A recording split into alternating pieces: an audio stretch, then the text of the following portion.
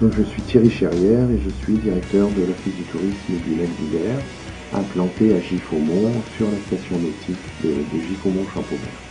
Le lac d'Hiver a été mis en eau en 1974 et il a été aménagé pour servir de, cuvette pour réguler, c'est-à-dire pour essayer de gérer les eaux de la Marne et accessoirement de la Blaise. Et cet immense barrage réservoir capable de, retenir 350 millions de mètres cubes.